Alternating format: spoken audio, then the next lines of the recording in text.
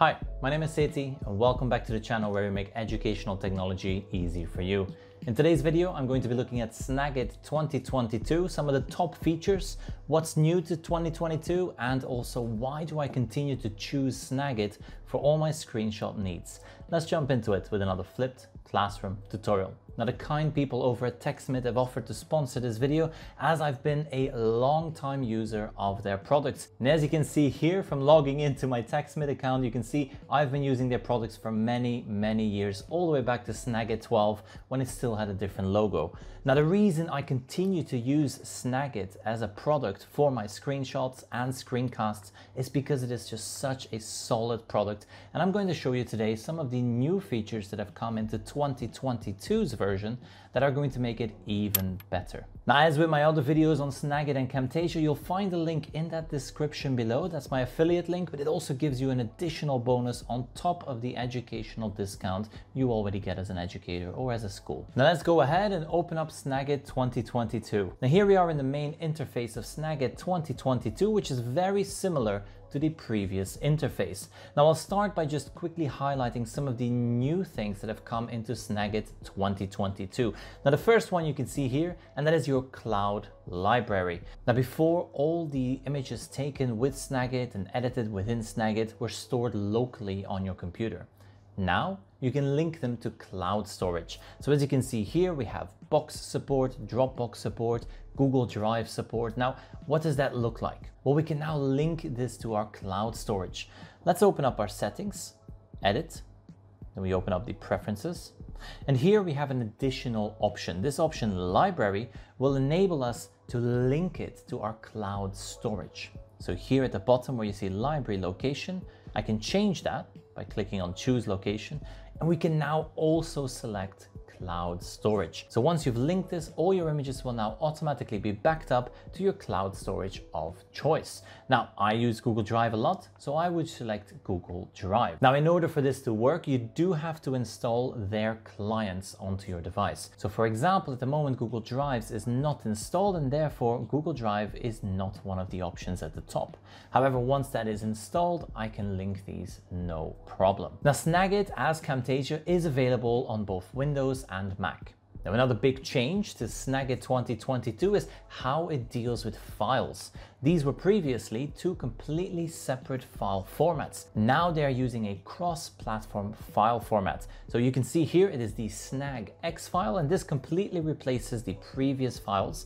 It'll automatically convert your previous images to the new file format and these are now cross-platform. In other words, they're supported on both Windows and Mac platforms. This is great for those teachers working in a school where you have some MacBooks, some Windows devices, and you just need to use those same files across all these different ecosystems. So this is a huge change to how Snagit deals with those files. And talking about these two versions of Snagit, they're making them way more consistent. So you can see here, there's been lots of updates to how the different elements and different tools look in both the Mac and the Windows version. So that consistency is constantly being updated. And again, in Snagit 2022, this has been a big focus of their updates. Which brings us to one of my favorite updates for the Snagit 2022, and that is the picture-in-picture video feature. So let's have a look at what this does, what changes about the video recording functionality of Snagit, and then also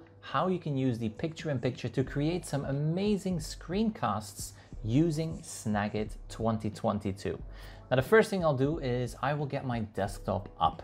So here we have our desktop and now let's get Snagit up. Now here on the left hand side I can choose the all-in-one image or video. So let's go ahead and add video and I'm now also going to turn on the record webcam functionality. So let's go ahead and toggle this on. You can see I can also select to record my microphone. So now let's go ahead and capture our screen. We're going to click on capture, entire screen, and it initializes that recorder. Now here you can see the webcam is right there on screen and I can move it around my screen. So let's just move it there. Now let's say that it's a little bit too big. Well, I can make it smaller as well. So I can just drag these sides down. There we go. So that it's not too distracting. I can always turn my camera off and then on again. And I can start my recording. So let's go ahead and record. We get our familiar countdown and we are now recording. Now, as we record our screen, we can highlight different areas. We can even move the camera around. So I'm going to move the camera to the top. There we go. We're going to make it a bit bigger. And I can also now turn off that camera. Maybe demonstrate some different things on screen again, and then turn that camera on again. This is the end of my recording. I can stop. This will automatically open up that recording in my editor. Here you can see we have that picture in picture on my screen. You can see that the recording did that just as I highlighted it. So picture in picture for those video recordings made with Snagit. Now, another update to the Snagit 2022 is more tooltips. So for example, here, if I was to navigate to the move tool, and I wanted to know exactly how this tool works and what it does, well, I can always click on that question mark this opens up the relevant website and I have some video animations right there that will show me how this tool works. This will greatly impact how you use Snagit and also how productive you are creating all those amazing lessons that you can create by taking screenshots, adding your own elements, and then also highlighting different parts of your screenshot. So lots of reasons here to upgrade to Snagit 2022. Still to this day, my favorite way to take screenshots. And now also with this picture in picture option, a great way to quickly record a video highlighting some different tips and tricks that you can share with students, parents, and colleagues.